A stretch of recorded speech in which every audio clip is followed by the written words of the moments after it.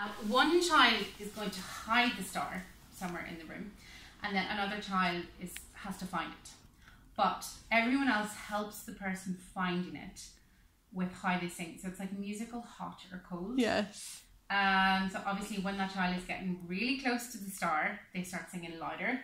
Uh, if they're far away, then they sing softer.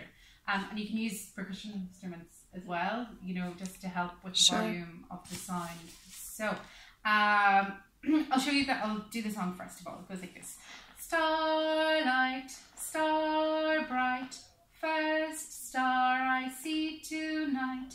Wish I may, wish I might have the wish I wish tonight.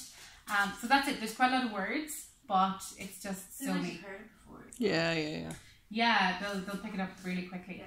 Um, why don't we do it this Okay. once? Yeah. Okay, so Heather, we're going to pick you to find the star. Okay. So that means you have to sit